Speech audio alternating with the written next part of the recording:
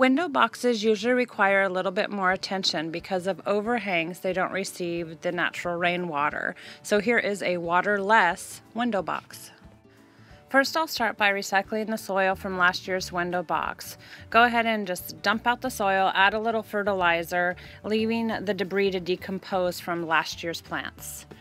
And these are my wire frames that I got from a thrift store, pretty cheap.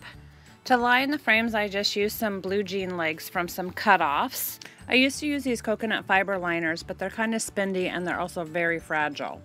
I also use a couple of disposable diapers and this is how I use them. Go ahead and open them up and soak them thoroughly so that the gel inside gets all wet.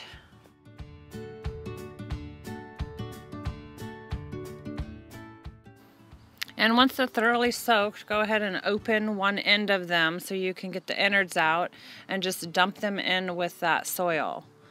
Add a little bit of fresh potting soil and add a little bit of water and stir it all up. The gel from the diaper innards is what's going to help the soil retain some water and slowly release it into the plant. Once your soil's ready, you get to choose some plants. Um, I like to mix plants. I'll mix lettuces, succulents, herbs, flowers, uh, whatever you think looks good together. I went for a little bit of red and purple this year, I guess.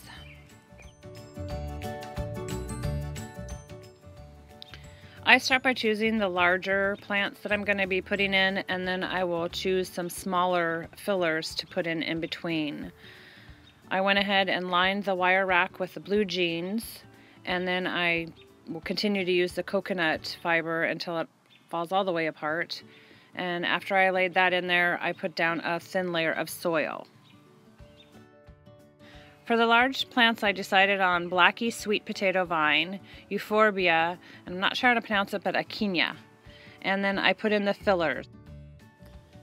My fillers include Begonia, Lobelia, Pak Choi, a fuchsia, and some rosy red romaine lettuce.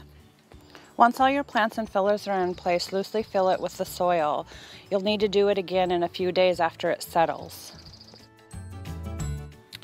Once it's hung, I wanted to add one more way of watering, and I love these little water nannies. I got a gift card for my son, and so I purchased these. You just put them towards the back, fill up a wine bottle, and put it upside down in there.